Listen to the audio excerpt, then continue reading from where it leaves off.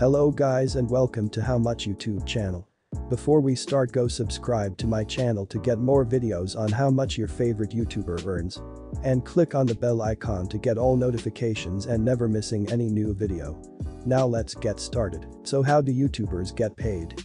They make money by placing ads on their videos.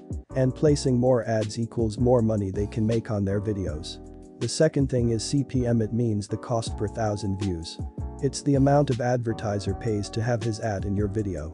And they spend on average $4 per thousand views. And it's calculated based on how many people watch the video and from where they are watching. Many factors affect the CPM, and it's included demographic content gender, time of the watch. YouTube also will take 45% of your ad revenue from the advertising. Now let's go over one cute couponer channel analytics. Total subscribers 504,000. Total videos 740 videos. Total views 47 million. Now for the monthly subscribers 1000 subscribers every month. Monthly views 500,000.